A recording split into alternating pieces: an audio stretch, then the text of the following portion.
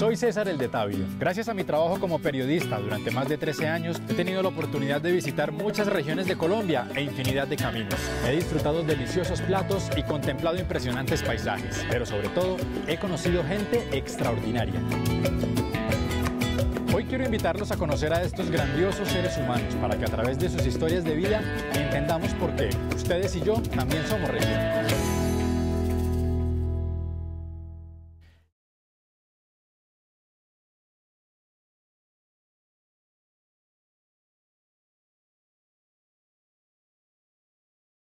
La música es la representación cultural por excelencia en Colombia y nuestra región no es la excepción.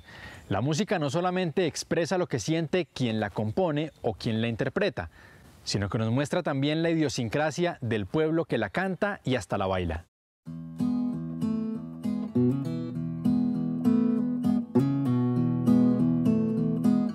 La música es el lenguaje del alma. La música es mi razón de existir por, la música es que yo, es mi trabajo, pero no lo veo como un trabajo. Es lo que desde que era niño me apasionó y me gustó y por lo que he vivido. Es una de las razones por las cuales yo vivo, la música. No importa muchas de las ocasiones, cualquier estado de ánimo o cualquier problema, que cuando yo estoy en una tarima no sé qué pasa, y desaparece eso de mi cabeza, mi corazón o, lo que tenga. Yo soy Julián Ricardo Mojica Galvis, soy eh, el rey vallenato de la versión 51 del Festival de la Leyenda Vallenata en Valledupar, pero soy un apasionado por la música vallenata, sin duda alguna. Eh, la adopté, vivo por el vallenato, vivo por el acordeón y llevo orgullosamente este título de Rey Vallenato. Eh, cuando yo tenía siete años de edad, eh, me empecé a interesar por el acordeón. ¿Por qué? Porque mi padre es acordeonero aficionado. Eh, fue una persona que, o es una persona que quiere bastante este folclore, a pesar, como ya lo dije, de ser boyacense.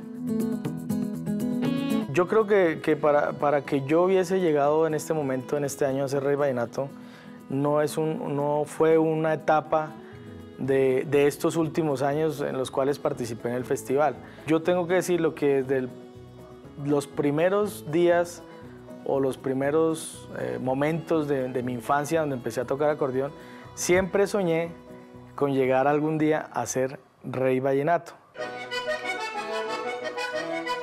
Bueno, el acordeón es un instrumento mágico, pienso yo. Es un instrumento que por alguna razón eh, la gente vibra cuando se abre un acordeón y cuando se toca. Cada quien interpreta el acordeón a su, a su manera y a su forma. Y creo que la interpretación o la forma o la nota bonita, como dice mucha gente, eh, depende mucho de lo que uno lleva por dentro. El acordeón es un instrumento versátil. Comúnmente el acordeón está relacionado con la alegría. En nuestro país pues el vallenato es una música alegre, más que melancólica. No significa por ende que el acordeón no pueda sonar dependiendo de la clase de emoción que se quiera transmitir.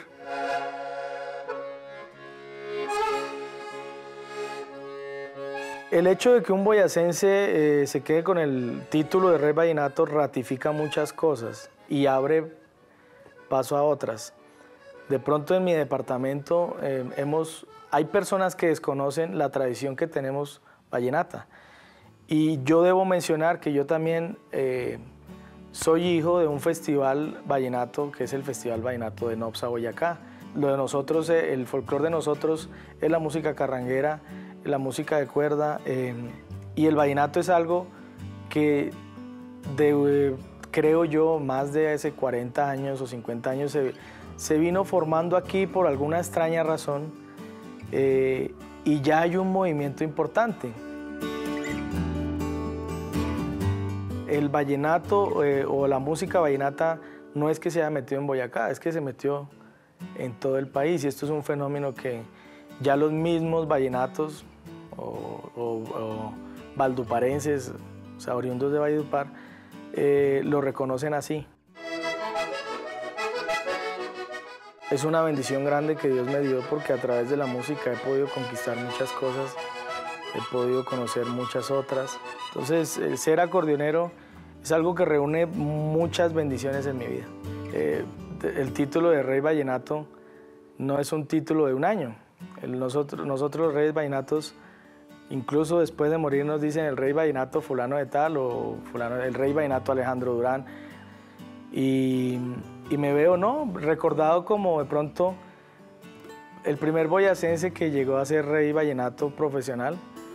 Eh, quizás de aquí a unos años eh, puedan existir otros, pero mm, me veo, me veo como satisfecho por, por el triunfo que se obtuvo.